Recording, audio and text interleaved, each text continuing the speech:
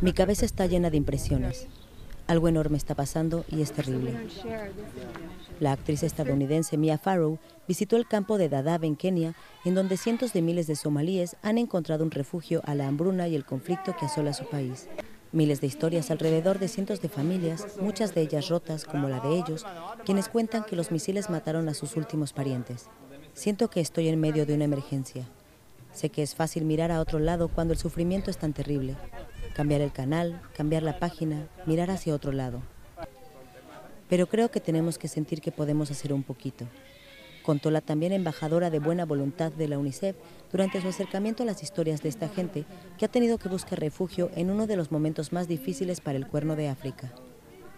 Farrow hizo un llamamiento internacional para apoyar a UNICEF en esta labor en la que cientos de miles de personas tienen un lugar en donde aún hay cabida para la enseñanza, la música y las sonrisas, en donde aún se respira esperanza.